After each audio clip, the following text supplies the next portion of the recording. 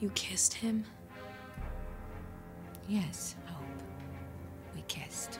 You don't think she's making a move on Eric, do you? She's the standard bearer, Eric. She sets the example for her daughter. I wouldn't be the man I am today without her. You ever wondered if you married the wrong Logan sister? I will not hurt my sister. I swear.